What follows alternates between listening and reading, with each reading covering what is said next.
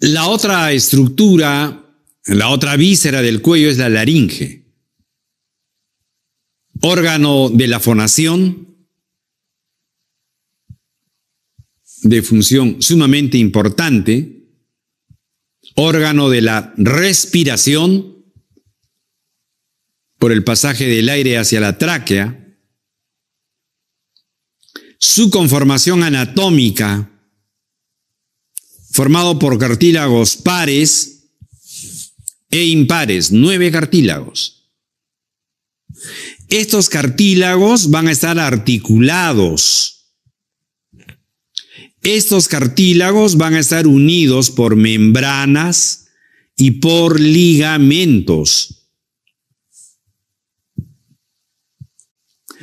y van a haber músculos extrínsecos que vienen de otro lado hacia la laringe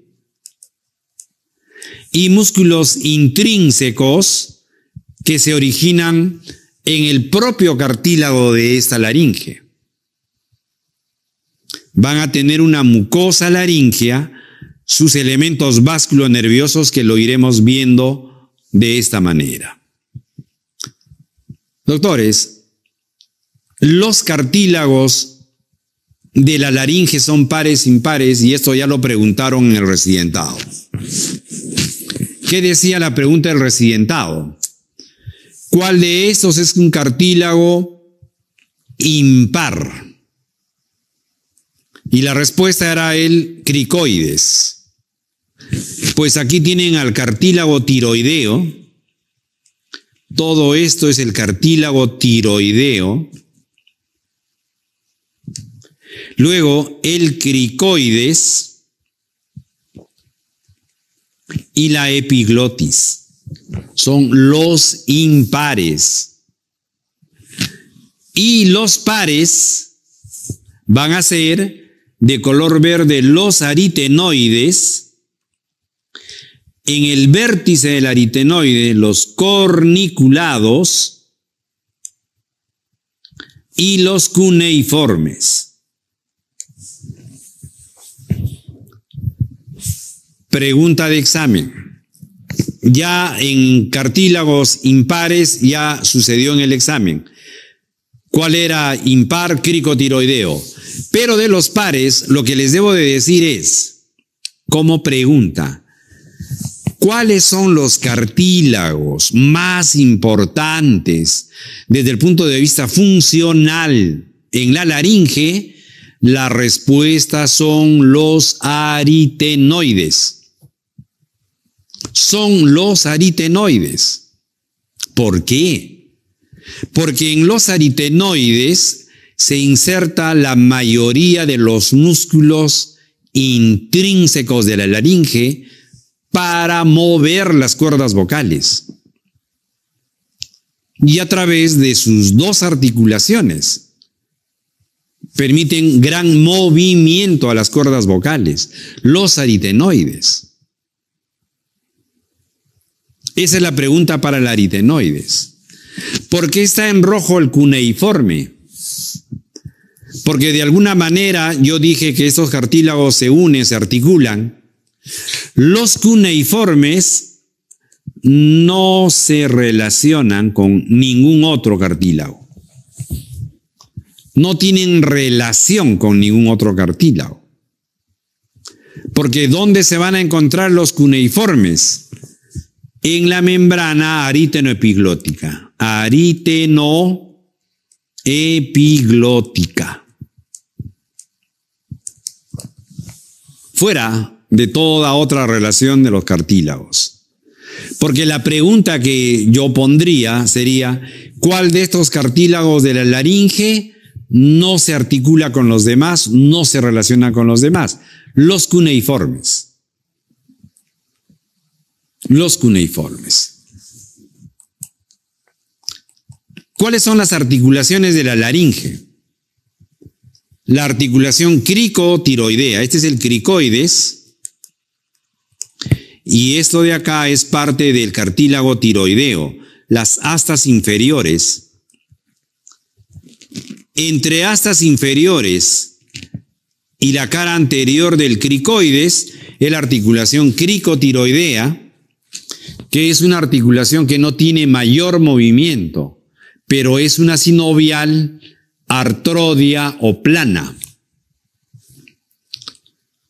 Y la otra articulación, que es la más importante, es la cricoaritenoidea.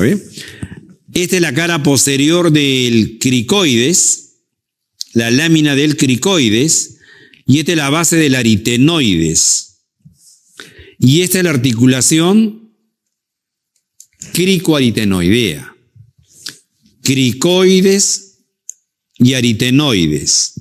Articulación cricoaritenoidea. Es una articulación, pregunta de examen, encaje recíproco o silla de montar y es la más importante. Es la articulación más importante entre los cartílagos de la laringe. Encaje recíproco o silla de montar. Esta es la que va a permitir que las cuerdas vocales se movilicen en gran medida movilizadas por los músculos que lo vamos a ver en su momento. Bien.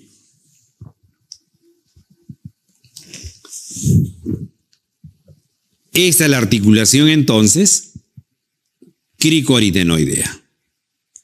Esta de acá.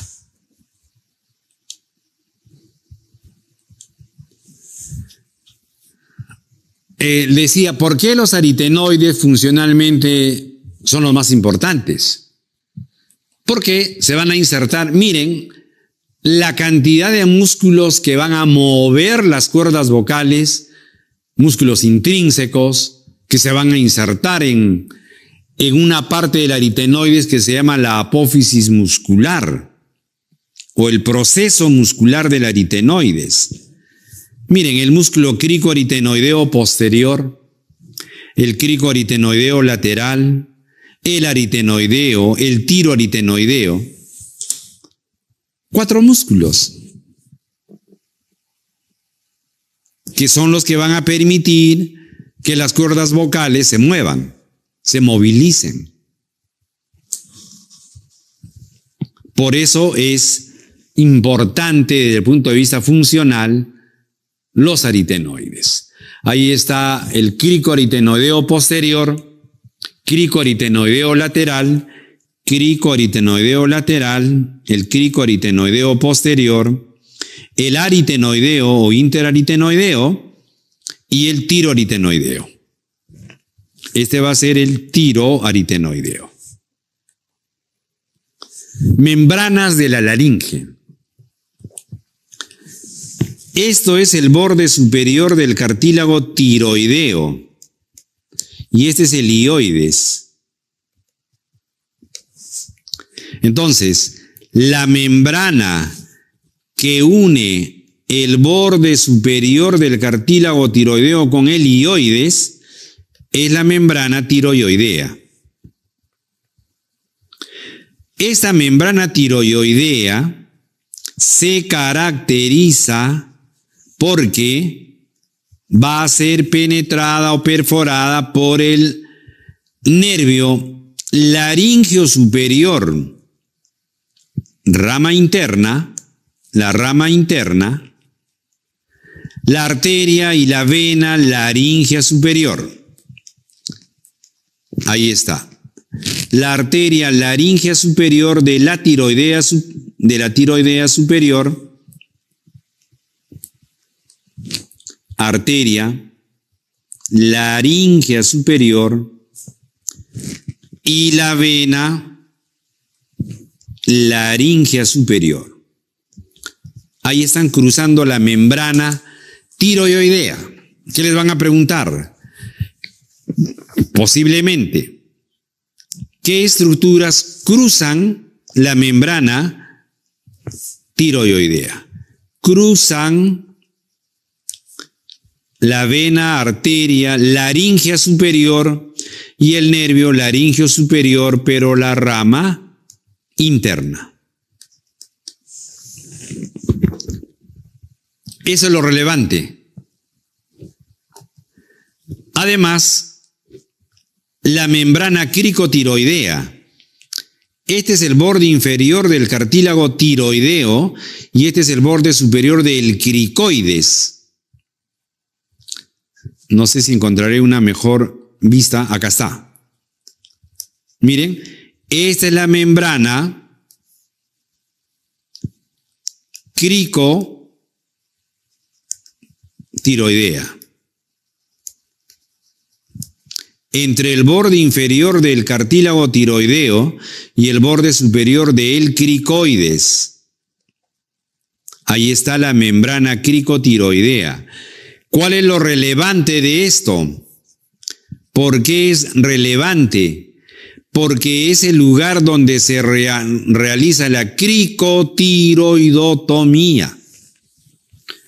Esa persona que se quedó en la calle, en un restaurante, en otro lugar que no sea un hospital, que se atragantó, se atoró con un pedazo de carne, se tira al suelo, uno puede hacer la maniobra para poder eliminar, pero si no se logra y hay alguien que sabe que es cómo hacer una cricotiroidotomía,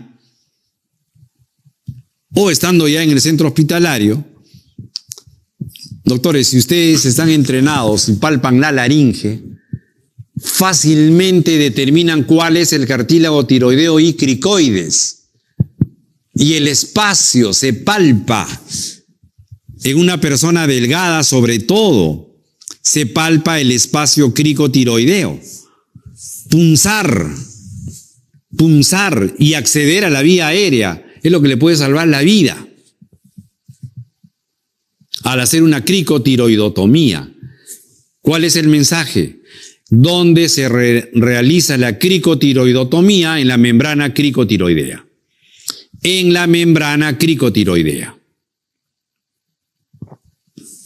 Bien. Y la otra membrana es la aritenoepiglótica. Es decir, eh, si ustedes leen los nombres como que se pueden marear o decir qué feo el nombre o qué difícil el nombre, doctores, simplemente es la unión de dos cartílagos entre el aritenoides y la epiglotis. Tiroidea entre el cartílago tiroideo y el ioides cricotiroidea entre el cricoides y el cartílago tiroideo. Y esta es la membrana aritenoepiglótica, esta de acá. Entre la epiglotis y el aritenoides, esta membrana aritenoepiglótica las une. Y esta membrana aritenoepiglótica va a formar parte del aditus laringeo, desde ya les digo que el aditus laringeo es el orificio superior de la laringe. Este de acá. Determinado por el borde libre de la epiglotis, la membrana aritenoepiglótica y la rímula. Este es el orificio. Cuando el anestesiólogo va a intubar al paciente, y va a pasar el tubo endotraqueal, lo primero que tiene que pasar es por la laringe. Y el, el, tubo endotraqueal para entrar a la laringe, lo primero que tiene que pasar es por el aditus laringio. Es la puerta de entrada a la laringe. Después cruzará las cuerdas vocales, llegará a la tráquea. Aditus laringio. Importancia orificio superior de la laringe. ¿Ok? Bien. La epiglotis. ¿Qué bondades importantes debemos sacar de la epiglotis? Ok. La epiglotis, el borde libre, delimita al aditus laringio. ¿Junto con quién? Con la membrana aritenoepiglótica. Aditus. La epiglotis guarda relación muy importante con la base de la lengua. Esta es la epiglotis.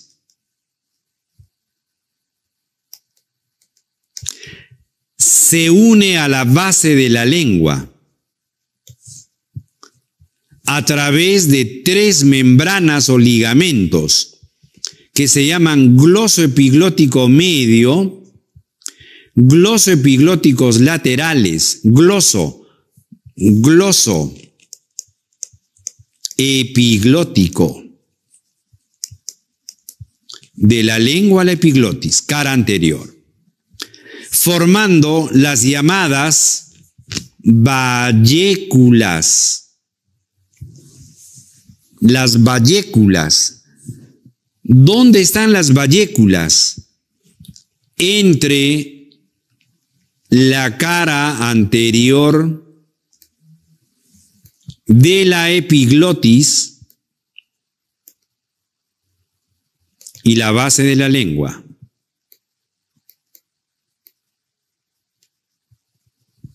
Ustedes dirán, ¿y, para qué quiero saber de la epiglotis, perdón, de las valléculas? Es que acá se percibe el gusto. Y este gusto es recogido por el vago, por el nervio laringio superior del vago. Eh, el gusto está recogido por el facial, dos tercios anteriores de la lengua, tercio posterior el glosofaringio y el vago de las valléculas.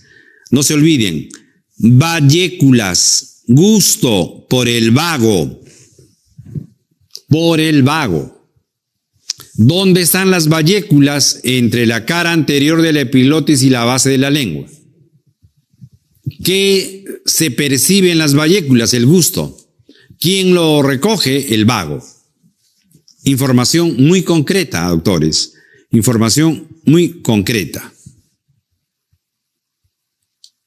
Justamente, esas son las membranas glosoepiglóticas laterales y la media en la determinación de las valléculas. De las valléculas. Cuando el anestesiólogo va a hacer la intubación endotraqueal como parte de la anestesia general, el laringoscopio que tiene esta forma de una L,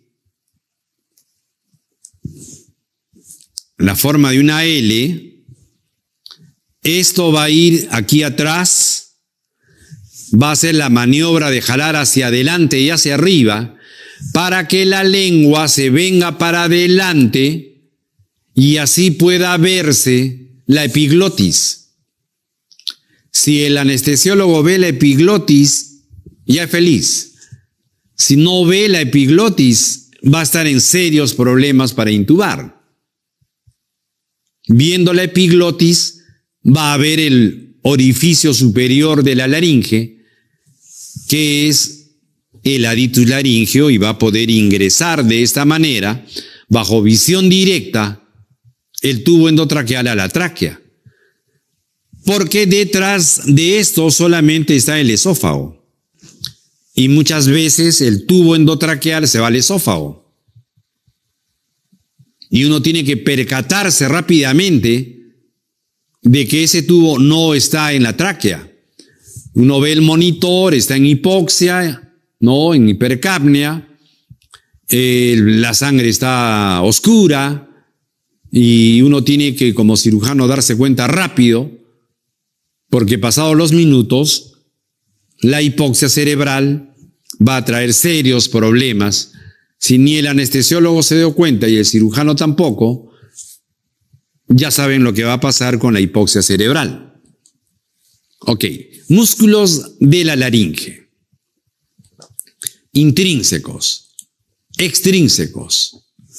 Los extrínsecos, extrínsecos vienen de otro lado, de otro lugar, pero que sí terminan en algún cartílago de la laringe, en algún cartílago. Por ejemplo, del esternón externo al cartílago tiroideo, externo tiroideo. Este es infrayoideo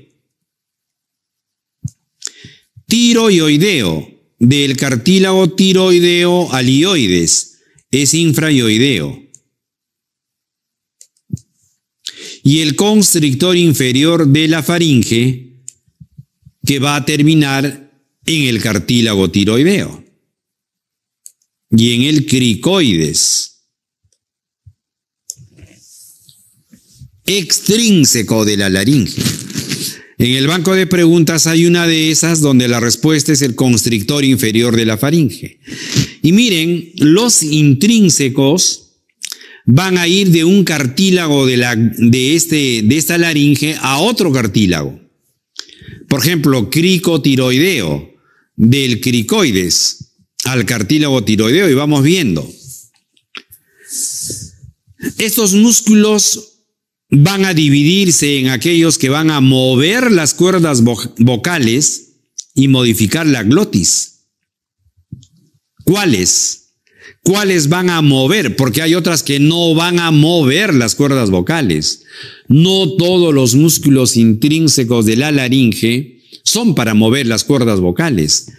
Y para mover las cuerdas vocales, el cricotiroideo, cricoaritenoideo posterior y laterales, el aritenoideo transverso, el tiroaritenoideo y el músculo vocal. Van a mover las cuerdas vocales. Y otros que más bien van, a modificar el aditus laringio. Porque, ¿por qué van a modificar? Porque usted está masticando una galleta o la comida, ya terminó de masticar y ahora va a deglutir. Y toma el líquido. ¿Por qué no se va a la vía aérea? Porque estos músculos cerrarán el aditus laringio para que la comida cuando pase no vaya a la vía aérea, pase al esófago. Y este aditus se va a cerrar por la acción de los músculos aritenoideo oblicuo, aritenoepiglótico y tiroaritenoideo. Estos van a modificar, van a cerrar el aditus. Si usted está mm, desconcentrado, degluta y respira, se va a atorar. Puede aspirarse, o sea que mientras deglutimos, la respiración se para, porque el aditus está cerrado, no puede estar abierto. Ok, el músculo cricotiroideo, este de acá.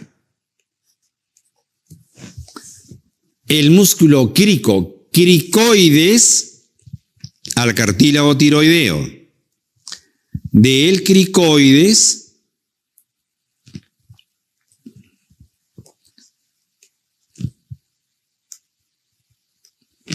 Ahí está. Del cricoides al cartílago tiroideo. Ahí está.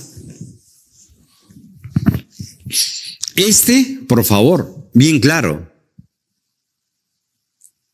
es el único músculo que se encuentra en la parte anterior de la laringe. Todos los demás están en la parte posterior, no, no, no se, están ocultos, por decir así. Este que está acá, delante, es el único de posición anterior. El único de posición anterior es el único, el único inervado por el nervio laringio superior, pero la rama externa. Todos los demás por el recurrente. Esta es la excepción. Y este es el único que va a continuar su función ante una parálisis del nervio recurrente. ¿Por qué? Porque este está inervado por el laringio superior, no por el recurrente. Ejemplo, ¿no? Me están operando del lóbulo tiroideo derecho, me cortaron el recurrente derecho. ¿Cómo queda mi cuerda vocal derecha? Paralizada ¿Qué significa paralizado? Está tensa y aducida. Porque la acción del cricotiroideo es tensar las cuerdas vocales y aduce las cuerdas vocales. Tensor, aductor de la cuerda vocal y secundariamente cierra la glotis. Entonces, mi cuerda vocal derecha, paralizada, estará tensa y aducida, paralizada, aducida. Y me va a cerrar la glotis parcialmente. Por eso que yo voy a tener dificultad para respirar, la disfonía o la afonía. Es el único músculo que continúa su función en la parálisis del nervio recurrente. ¿Cómo queda la cuerda vocal de la zona lesionada? Del lado lesionado, tensa y aducida. Está paralizada, sí. ¿De qué manera? Tensa y aducida. El único está que es anterior. El único inervado por el laringio superior externo. El único que continúa su función ante una parálisis del recurrente. Entonces ahí está la función. Tensa la cuerda vocal y aduce la cuerda vocal. Y si aduce la cuerda vocal, cierra la glotis. Cierra la glotis. Y ahí está su inervación. Es de la rama externa del laringio superior. La rama externa. Bien, crico aritenoideo posterior.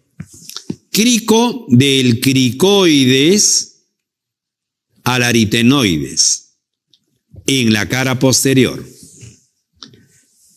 Lo voy a, remarcar a este músculo para que lo vean bien. Crico aritenoideo. Este es el aritenoides.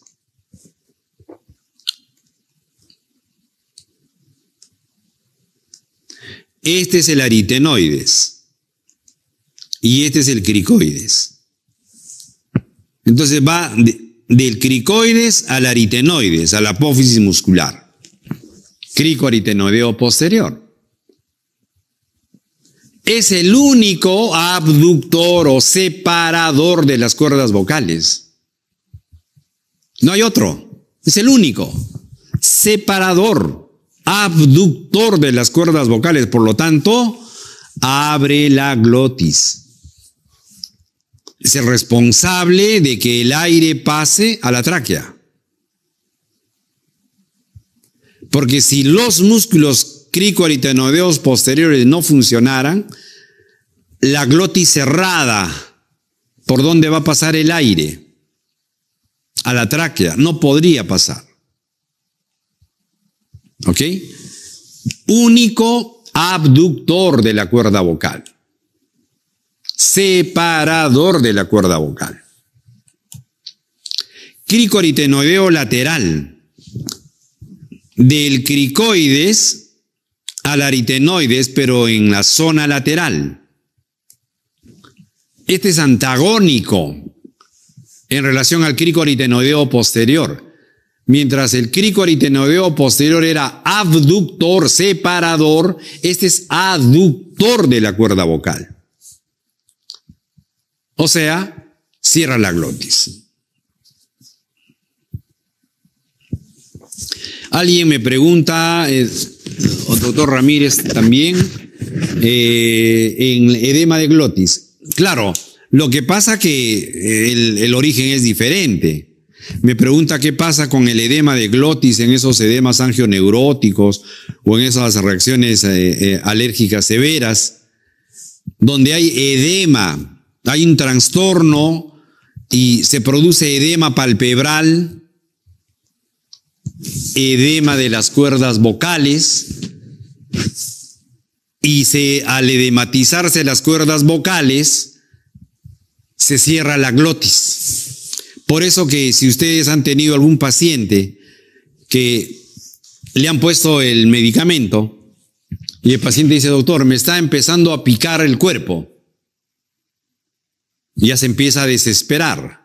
Me están saliendo ronchas. Doctor, ya no puedo respirar bien. No sé qué pasa, pero ya no respiro bien. Siento dificultad para que pase el aire. Edema de las cuerdas vocales. No de la glotis, porque la glotis es un espacio. La glotis es el espacio entre ambas cuerdas vocales inferiores. Lo que se dematiza es la cuerda vocal, que al hincharse, ya, no hay glotis, no hay espacio. Entonces el paciente está en un serio problema. Bueno, tienen que recurrir al tratamiento de corticoide, de adrenalina, lo que tengan que hacer para neutralizar esta gran reacción inmunológica y disminuir el edema disminuir el edema. Entonces no, no tiene que ver directamente con la inervación, sino con el proceso del trastorno inflamatorio. ¿Ok? El cricoaritenoideo lateral, en la bibliografía, le llaman el músculo de la fonación,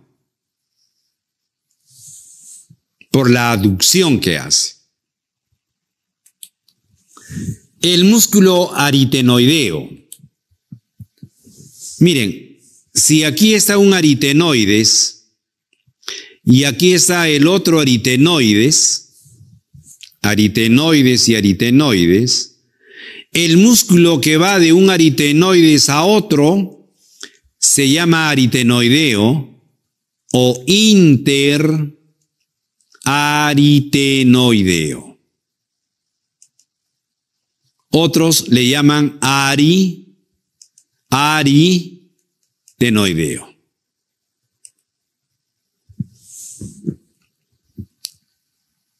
De manera transversal, que es el grueso, y de manera oblicua.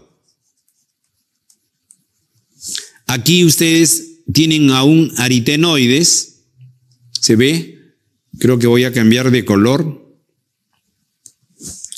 Este es un aritenoides y este es otro aritenoides.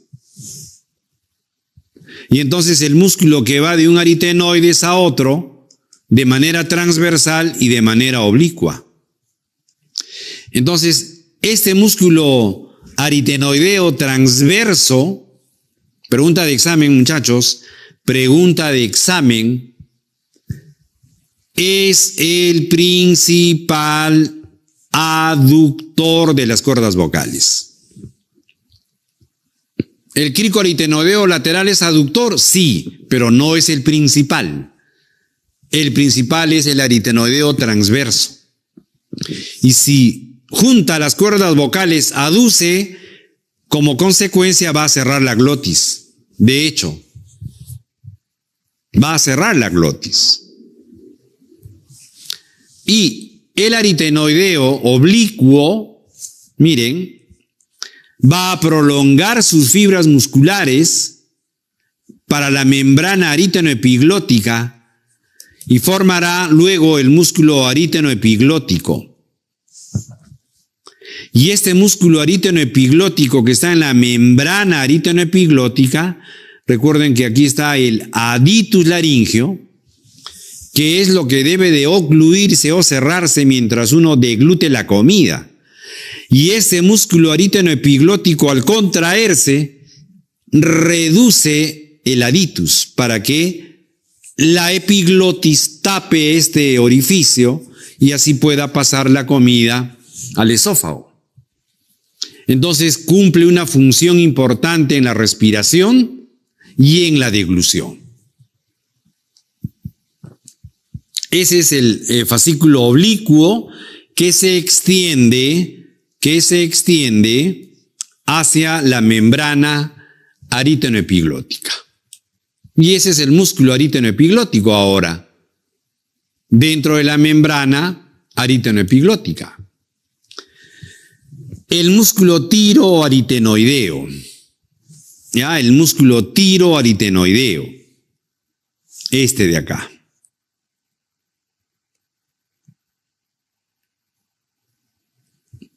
Tiroaritenoideo. Este músculo lo que va a hacer relajar los ligamentos vocales y es antagónico al cricotiroideo. Relaja, o sea, el cricotiroideo tensa las cuerdas vocales, el tiroaritenoideo relaja las cuerdas vocales. Y el músculo vocal, este va a ser el músculo vocal en relación con la cuerda vocal inferior. Está a nivel de la cuerda vocal inferior. Si algo tendrían que preguntarle acá, ¿cuál es el músculo relacionado a la cuerda vocal inferior? El músculo vocal, que es el músculo del canto. Pregunta de examen.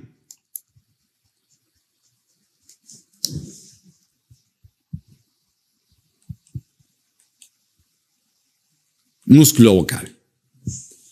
Bueno, estos son los extrínsecos que ya hemos hablado. El esternoioideo, el esternotiroideo y el constrictor inferior de la faringe. El constrictor inferior termina en, la, en el cartílago tiroideo y en el cricoides. Ahí termina, a través de dos fascículos musculares, el tirofaringio y el cricofaringio. Miren, lo voy a pintar de otro color para que se vea muy claro. Este es el constrictor inferior de la faringe, este de acá. Constrictor inferior. ¿Cómo termina? En el fascículo tirofaringio y este transversal que es el cricofaringio. Este músculo cricofaringio, doctores, este cricofaringio es el esfínter esofágico superior. Este cricofaringio inicia al esófago. Músculo estriado. Y junto con el tiro faringeo, junto con el tiro faringeo, van a formar lo que se llama este, esta dehiscencia de Killian, que lo mencionaré en otro momento. El aditus laringio. Ya hablé algo del aditus laringio. El aditus laringio es este espacio borde superior de la epiglotis, membrana arítono-epiglótica y la rímula. ¿Qué es la rímula? El espacio entre los dos aritenoides. Esta es la rímula. Esos son los límites. Rímula y el aditus. ¿Qué es el seno piriforme? El seno piriforme o receso, también llamado receso piriforme, es el espacio entre la laringe y la faringe. Aquí está la membrana, esto va a ser el receso faringio, perdón, piriforme. o seno piriforme. Si uno ve la endolaringe, ya ve por dentro a la laringe, ¿qué vamos a encontrar? Al vestíbulo laringio. Miren, comenzamos por acá. Reconocimiento primero de la cuerda vocal superior o falsa y la cuerda vocal inferior o verdadera. El vestíbulo laringio está debajo del aditus hasta la cuerda vocal superior. Todo este espacio es el vestíbulo laringio. Entre el aditus laringio y la cuerda vocal superior o falsa.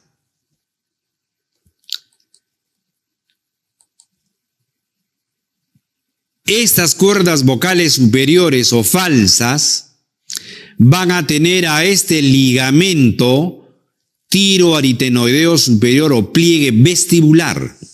Lo voy a poner de negro mejor. Este.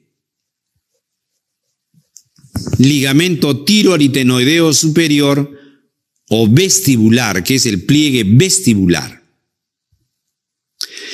Y las cuerdas vocales inferiores o verdaderas o verdaderas van a tener también al ligamento tiroaritenoideo inferior o vocal. Por dentro de esta cuerda vocal inferior, cuando uno corta la mucosa, encontraremos al ligamento vocal, que es el tiroaritenoideo inferior, y el músculo vocal, que está acá. El músculo vocal.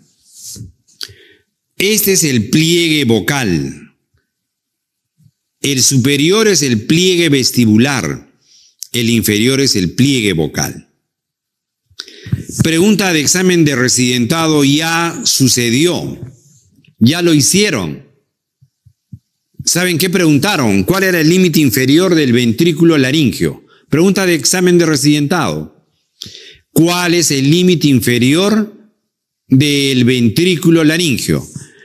Si esta es una cuerda vocal superior y esta es la inferior, todo esto es el ventrículo laringio. ¿Quién es el límite inferior?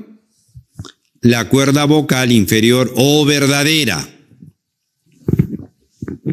Pregunta de examen ya realizado. Pero voy a que miren lo que le están preguntando. No le vayan a preguntar entre quiénes se encuentra el vestíbulo laringio, o el seno piriforme, o la vallécula. Esos nombres, por favor, subrayenlo. Vallécula, aditus, seno piriforme, ventrículo laringio, vestíbulo laringio. Lo tienen que tener muy claro. Ahí está la cuerda vocal superior con el ligamento tiroaritenoideo superior o vestibular. El nombre de la cuerda vocal superior o falsa también se llama pliegue vestibular. Y esa es la cuerda vocal inferior o verdadera, que es el pliegue vocal. Con, teniendo también por dentro al ligamento tiroaritenoideo inferior y al músculo vocal, músculo del canto. Bien, esa es entonces, miren, las cuerdas vocales inferiores. ¿No? Las cuerdas vocales inferiores determinan este espacio que se llama la glotis. Esta es la glotis. El espacio es la glotis. Esta es la cuerda vocal verdadera, cuerda vocal verdadera. La irrigación. ¿Qué arterias tiene la laringe? La laringe superior, que es rama de la tiroidea superior, esta de acá. La cricotiroidea, de la tiroidea superior también.